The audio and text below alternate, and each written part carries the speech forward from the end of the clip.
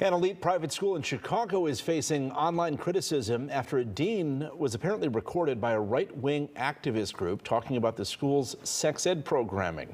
Francis Parker School in Lincoln Park is the latest target of Project Veritas. One of its contributors recorded a video that appears to show the school dean saying sex toys were shown to students as part of a discussion. The school released a statement saying Parker's Board of Trustees supports the inclusivity of its curriculum.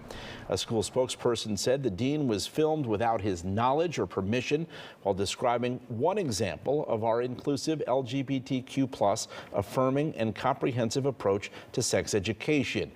Project Veritas uh, deceptively edited the video with malicious intent.